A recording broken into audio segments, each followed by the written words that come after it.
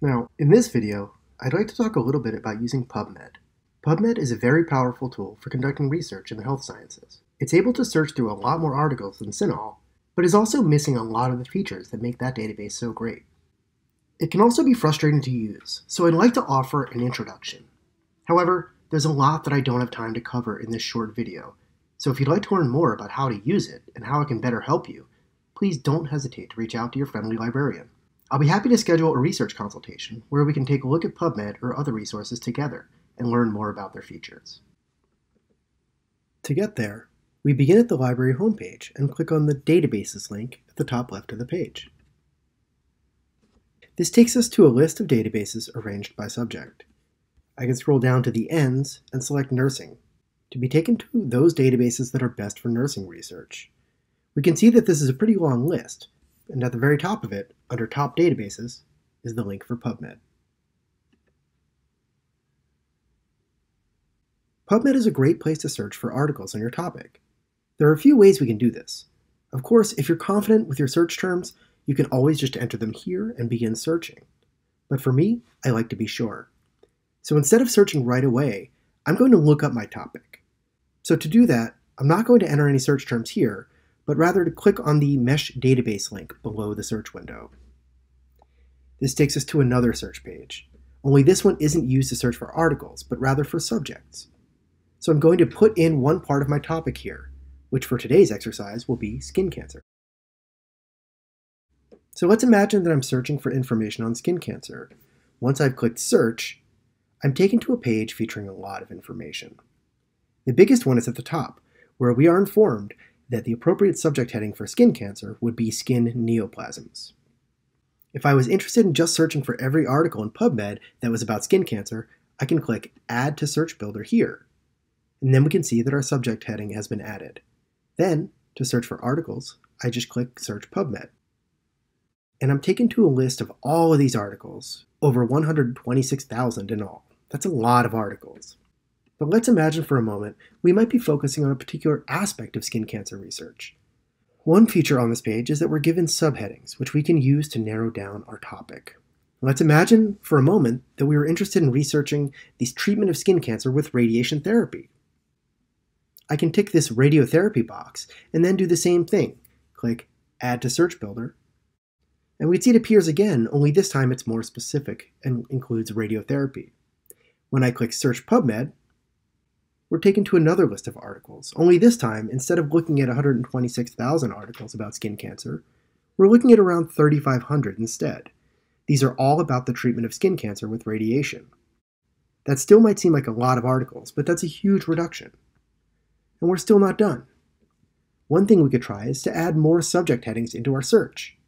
Even with a subject like this, we're usually looking for more specific information. Perhaps we might be looking for a specific type of study, or research this topic pertaining to a specific type of patient. Perhaps we're only looking for articles from nursing journals. If you're familiar with CINAHL or OneSearch, you're used to seeing a large number of filters on the left of the results. On PubMed, we have a few options, but nothing as robust as on those databases. However, there is a way to add more of these. I can click on Additional Filters to be given more options to add. This gives us the option of adding things like article type, age and gender of patient, and other helpful ways to narrow down our search. If I just wanted to look for clinical studies, I can add it by ticking this box and clicking Show at the bottom. Once I do, it now appears in my filters. I can select this, my results are automatically updated to show only clinical studies. I might also be searching for more recent articles, so I can use this date slider here to say just search for the past five years. That brings back 13 articles on the topic of treatment of skin cancer with radiation, all of which describe clinical studies and were published in the last five years. Using these limiters is the best way to narrow down the results that you're getting back, while still making sure that they are relevant. Now that we've gotten our results list down to such a small number, it's time to start looking at these articles. So let's take a look at number two here. One of the first things we're going to see on this page is that the actual article isn't here. If we wanted to access the article, we would use the links on the top right corner, which read full text links. But before we click on these, there's a lot of information to take in on this page. We can see that the abstract is listed here. But if we look to the right, we see the sort of table of contents for this page. If I scroll down, I start seeing more information about the article. First, PubMed provides us with some similar articles, which may or may not be helpful to our research. But if we keep going, we can see the next section is very interesting. Cited by 11 articles. Now, a lot of the times, if we find an article, we can look in the list of references to find other sources. But those reference lists only feature sources that are older than the article we're using. This cited by tool gives us a similar list of articles, only these are, by definition, newer than the article we're looking at. This can be a great way to locate articles in similar topics, as well as to track the impact of the article within the discipline. Going down further, there's more helpful information about this article. We see the references, we also see the type of study featured, which is a clinical trial. And there's a list of MeSH terms. If you can remember, these are the subject terms which we were searching in the beginning of this video. I might see one that works with my current search, such as this one, which is the treatment of melanoma with radiation. I can click on this link, and it gives us the choice to look up all the articles in PubMed with this subject term, or we can look back into the MeSH database, which we started this video. We can also add this term to our current search. Subject searches are a great way to refine your search and to browse through relevant topics. Finally, we can also see the specific substances discussed in this article and are also listed down here. If I click on these, I'm given the same options as with the subject headings. As I mentioned earlier, you'll find the links to access the actual articles in the top right corner of the article. These links are going to look different depending on which page we're on. Most of the time, we're looking for this one, which reads Find It.